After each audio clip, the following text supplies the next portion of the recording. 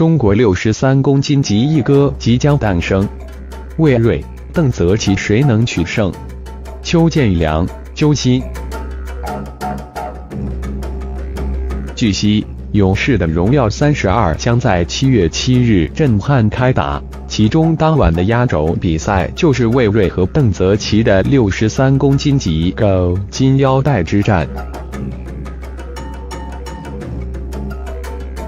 两位拳手通过之前的淘汰赛，最终晋级决赛。决赛中，魏睿和邓泽奇谁能取胜，谁就将获得六十三公斤级首条金腰带。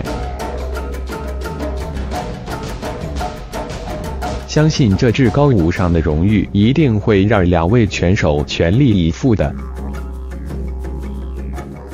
众所周知。魏睿是首位在日本夺得 K 一金腰带的中国拳手，实力不必多说。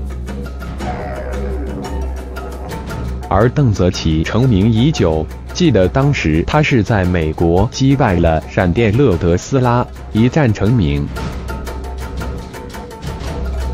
可以说。魏瑞和邓泽奇在国内六十三公斤级中，无论是横向比较还是纵向比较，都称得上是最顶尖的两位拳手。因此，魏瑞和邓泽奇的金腰带之战，也被拳迷们誉为中国六十三公斤级一哥之争。那么，魏瑞和邓泽奇的这场比赛？谁获胜的可能性更大呢？众所周知，魏锐和邓泽奇有过一次交手，记得当时两人是在武林风六十三公斤级世界功夫王者之战的决赛中相遇的。当时的比赛结果是魏锐战胜邓泽奇。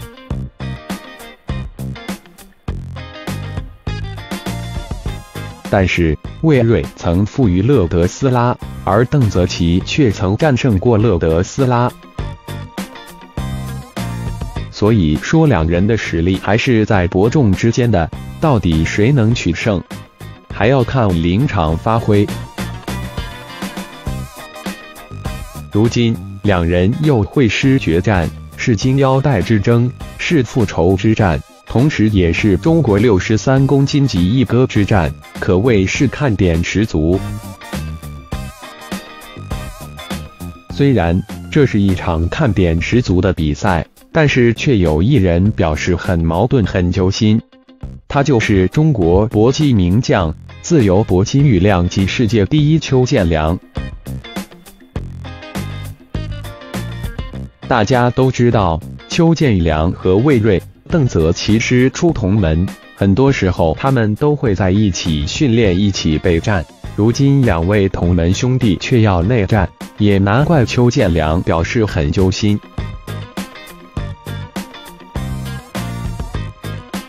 昨日，邱建良通过自己的社交账号发表了自己对这场比赛的感受。两位好兄弟要展开金腰带争夺战，揪心。对于邱建良的动态，郭晨东在评论区留言写道：“没办法，谁叫他们俩兄弟水平都这么高，还是一个级别的。”对此，有拳迷留言道：“不敢看，谁输心里都难过。”确实，可能很多拳迷对于这场比赛的感受都是如此。但是，真的是没有办法，这就是竞技体育，这就是比赛。